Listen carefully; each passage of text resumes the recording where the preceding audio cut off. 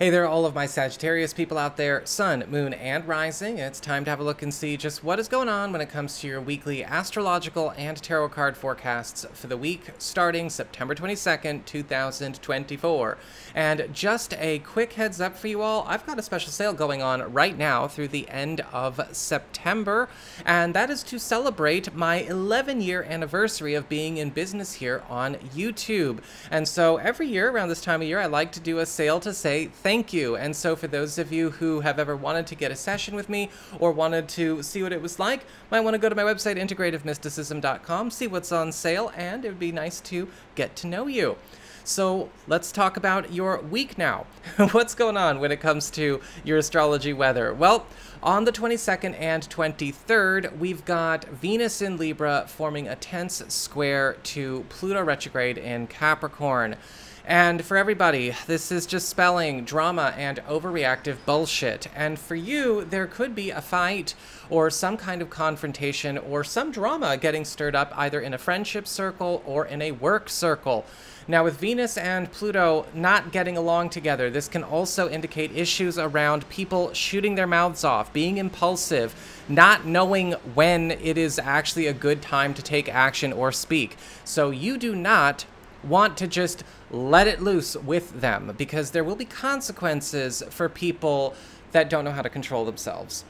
On the 24th and 25th, we've got a grand Earth trine between Mercury in Virgo, Uranus in Taurus, and Pluto in Capricorn, and this spells big plot twists and surprise gains as it relates to a financial or professional concern. Because a Grand Earth trine is happening in your financial sectors, there is likely going to be some kind of environmental, account, or work-wide shift that is going to be bringing you some kind of special benefit that is going to continue to provide you with payoff benefits as we go through the rest of the year. So keep your eyes open for that. So that's what we've got for your astrology and the weather. Let's have a look and see what's going on with your tarot and the traffic. All right, Sagittarius, here's your tarot traffic. And so this week, when it comes to your earth sector, work job, and finances, you've got the temperance card reversed. Now, the temperance card reversed on a financial level, if we're strictly talking about just cash, is actually pretty good. It can indicate, you know, this week could be quite um, consistent as far as bringing you uh, money in faster droves, whether it's through work hours, through projects, through sales, or even through other people. However, with the temperance card reversed, there can also be some issues that come up with overextension, incompatibility, or overexertion, just in terms of work demands, obligations, priorities are concerned. And you want to make sure that you are not letting things kind of push you or push your luck too far. This can also indicate some issues that could come up where we might almost feel like we have to be spread everywhere at once, and you don't want to set a precedent of doing that. Enjoy the good that can come from this, but make sure that you're controlling what could go too far.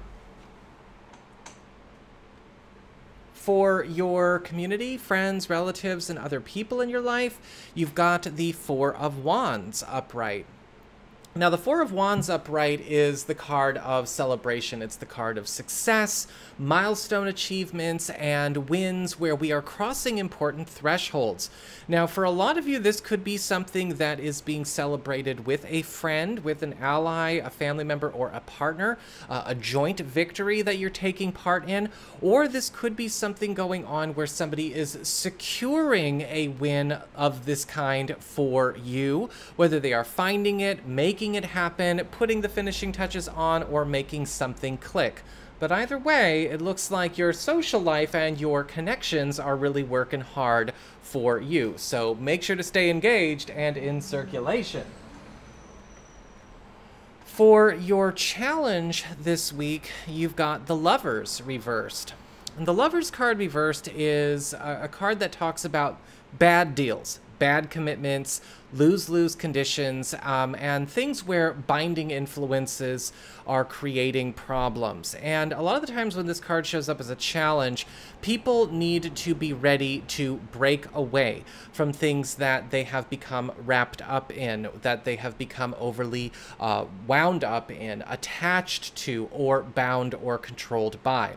You may have to take some time to maybe quit certain agreements or commitments this week, or maybe even reverse certain deals or certain plans that you've made with others because with the Lover's card reversed, sometimes commitments can speak for our time, our space, or our availability in a way that's harmful to us, and if they've been doing it for a while, it's time to rethink them. For your relationships with love, romance, and partnerships, you've got the Two of Pentacles reversed. And this is actually a good commitment card. It's not talking about bad commitments, it's talking about good ones because the Two of Pentacles reversed is all about getting things made solid where they have been wishy-washy, where they've been up in the air, where they've been chaotic, and getting them firm, solid, and grounded, and also getting rid of a lot of excess. When we have the Two of Pentacles reversed in love, it's likely you and a partner are going to be simplifying, downsizing, or even quitting on some things that are going to make each of you a lot more uh, feeling more relaxed, more at home within yourselves, and bringing a lot more peace into your lives in general. This could also indicate the settling or the establishing of some kind of commitment that is going to crystallize a plan that has had no way of coming forth into being for you and a partner. And for those of you who are single or available to new people, the Two of Pentacles reverse is indicating, well, a trend like that could get started here with somebody new or recent as well. And for your spiritual advice, your guidance for the week, you've got the death card reversed. The more you resist turning over pages, the more you're going to repeat life. And that's one of the big things with the death card reversed. It is the card that says there are new no new beginnings without endings. And you may have to see some situations eh, through a different in a different light this week where maybe certain things that you hold on to or you keep going just for history or old time's sake or whatever reason are actually the things that could be keeping you in a stuck space. The death card reverse is saying be ready to take on some overdue transitions and some overdue endings as you go through this week to make sure that you can fully commit to what is good. So that is what I've got for you all. I hope you found this helpful. If you did, don't forget my name is Nico, son of Selene, and should you ever want to get a session with me, you can go on ahead to my website. It's integrativemysticism.com.